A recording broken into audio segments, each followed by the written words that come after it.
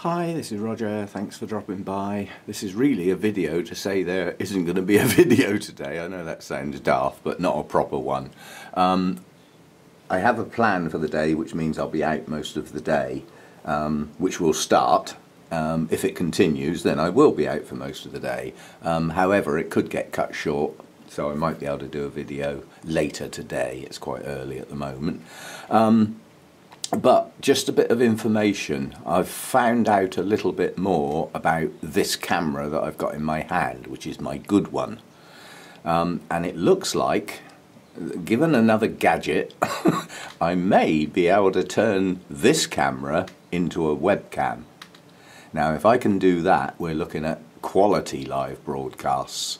Um, the obviously the wireless internet from the laptop, um, you know, uh, to the hub is going to degrade it a little bit and it may even introduce some pauses because of the internet connection but the quality of the shot should be good.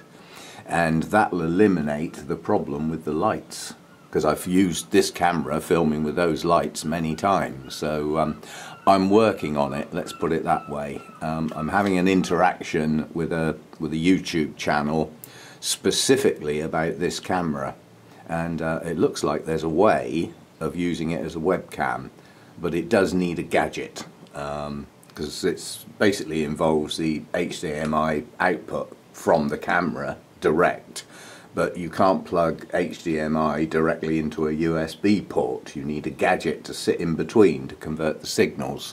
So I'm looking into it. I've got one more question outstanding that if that gets a positive answer, then um, the gadget itself is quite expensive but there are used versions of it on eBay that come in at a very reasonable price such that I could probably then sell my webcam because I wouldn't need it and get me money back. so net cost zero, um, plus two aspirins of course.